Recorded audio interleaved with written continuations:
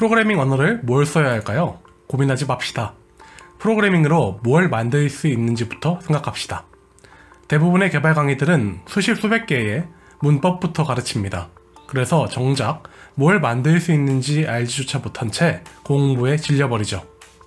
프로그래밍은 실제로 사람들이 쓸 수 있는 앱이나 웹 혹은 그 이상의 기능들을 다룹니다. 버튼 하나만 눌러도 여러 장치가 움직여서 멋진 결과를 만들어내죠. 키워드를 통해 결과를 찾아내는 검색 시스템, 사용자의 정보를 저장하는 로그인, 회원 정보, 자동으로 원하는 정보를 찾아서 정리해주는 crawling, 로봇들을 움직이거나 IoT 기기를 연결하는 원격 컨트롤.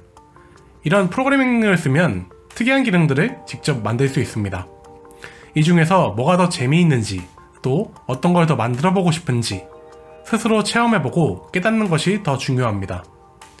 그러니 마음에 드는 기능부터 찾아보세요. 그리고 간단한 것부터 만들어 봅시다. 문법부터 배울 필요가 없습니다. 프로그램이 돌아가는 원리만 알면 됩니다.